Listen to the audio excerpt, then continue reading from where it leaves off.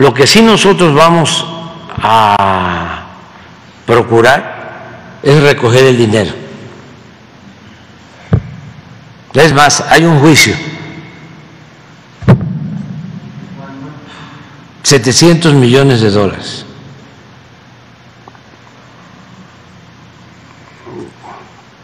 En Florida. Y sus abogados plantearon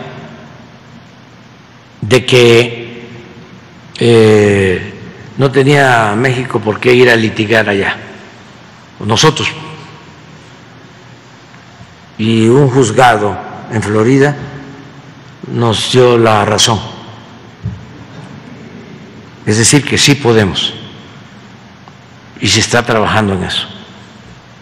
El gobierno Estados 700 millones de dólares y otros este, posibles activos. El gobierno, eso se va a seguir, eso nos corresponde a nosotros. el gobierno de Estados Unidos le ha pedido información al gobierno mexicano de Yo creo que sí, pero eso a la fiscalía.